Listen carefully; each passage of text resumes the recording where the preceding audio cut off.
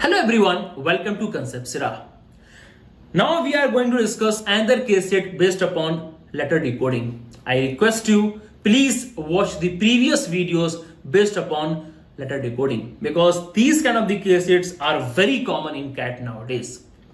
So if we see this particular case set, they are saying there are five positive distinct digits and relation is given to us A is less than B, B is less than C, C is less than D and D is less than E. And we are just combining these digits and we are getting 10 items.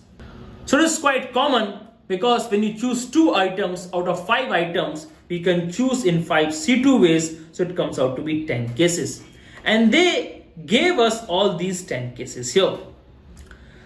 Now, further information is given to us. The list contains 18, 29, 75 and 84.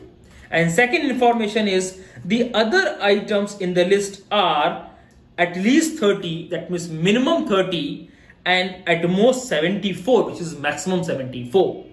What we can decode from here, 18 is definitely a minimum possible number and 84 is a maximum possible number. And similarly, we can say 29 is second minimum possible number and 75 is a second maximum possible number. Now, if we know this particular relation, we can definitely decode which summation will be the minimum possible number. So we can say from here A plus B will be minimum possible summation which is given to us 18. And D plus E will be maximum possible summation which is given to us 84 here. Now we look for the second minimum A plus C or B plus C. What has to be second minimum? Definitely C is common and we know A is less than B. So second minimum has to be A plus C. So A plus C has to be 29. And we can see from the second maximum has to be E plus C or D plus C. We know from here C is common. It means E plus C has to be second maximum. So E plus C is given to us 75. Now we can decode this much information from the given table. Now we have to go to the question and solve the question accordingly. So let's move further and solve these questions here. So if you see the first question, the first question is D minus C. So we are looking for D minus C, you have to look these two equations. If we subtract equation 2 from equation 1, we can get from here D plus E minus C minus E is equal to 84 minus 75 which is equal to 9 here.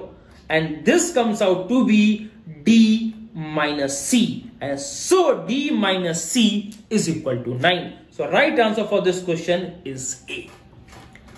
Let's move further and look at second question here. The second question is C plus E.